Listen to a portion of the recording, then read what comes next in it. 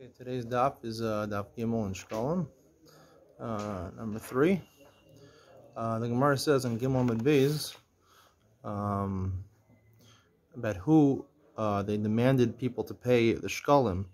Um, the Gemara says, in the Mishnah says uh, on Gimel Mid Beis, "Amim Mashkin Levim Yisrael Megerim Avadim Mishukharim Avalo Noshim Avadim Miktanim."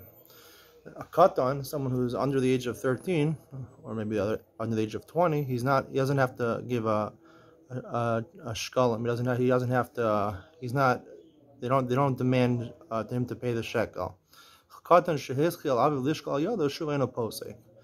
But once a father already decided to pay the, the shekel for his son, so the, the son seemingly, or the father, has to continue to pay in future years. Gemara says Ein memashkin esaktanim halitvoa tovin.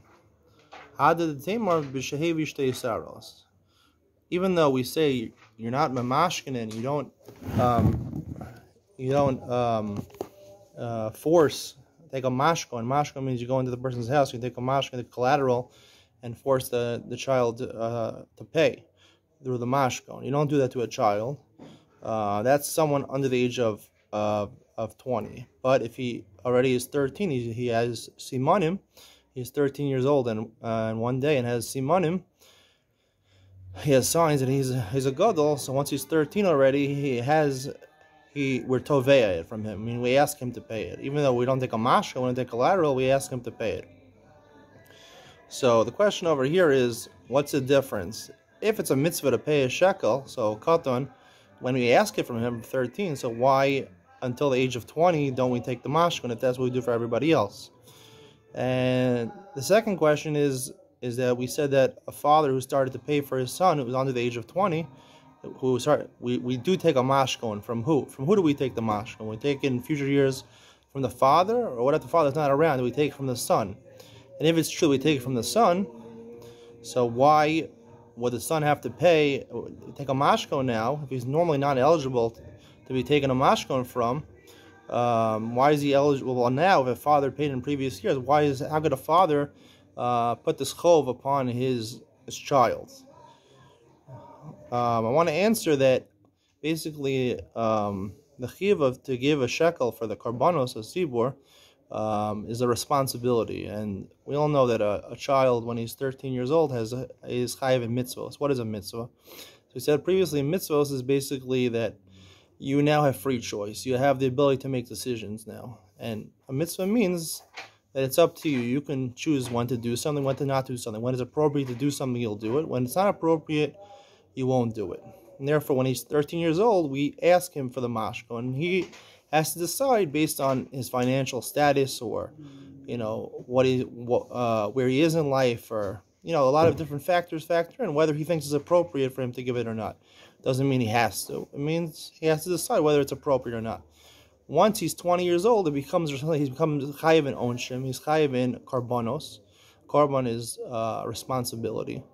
Uh, once you're 20 years old, life throws responsibilities at you, and you have to take care of those responsibilities. And at that point, we take a mashkin from him where he has to pay it, because at 20 years old, you're you're responsible.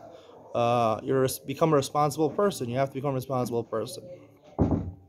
So therefore, that would be the distinction that when he's 13 years old, he has to make decisions. We ask him to pay.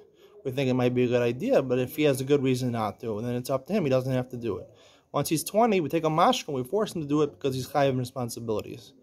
We said in the Mishnah that the father starts to pay for the son when he's under the age of 20. So then he every year the, the, the child has to pay. Who has to pay? So the Korban Ha'Eidah says, uh, the, the Mefarish over here says, Shuveno posik aviv malishkol. That the next year his father has to give it. It sounds like that the katan wouldn't have to give the next year, but his father's not around. Uh, the only problem with this is that the Mishnah says kol katan shuveno posik. the subject of shuveno posik doesn't stop; it's going on the katan. katan So the seeming explanation from the Mishnah, I would like to suggest that maybe there's other Mepharshim that say this, that really the chiyuv even if the father were to die or not be around, the katan would still have to bring uh, the shekel the next year. Why is that? Because uh, if a child, like we said, there's two parts to the mitzvah. There's the mitzvah where decision making,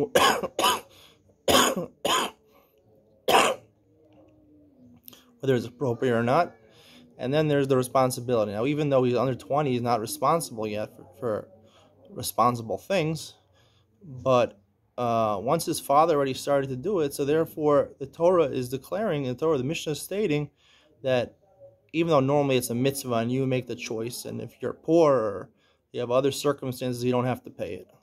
The Torah is telling you that now uh, the, the advice of the Torah is that you should be giving it. Once your father did it, he made you a responsible person. He made you a responsible person under the age of 20. So the Torah deems that it's not really a choice anymore. It's actually a responsibility on the child, even though he's not quote unquote a responsible person yet. But the Torah is telling you that's the direction that it's no longer a choice anymore.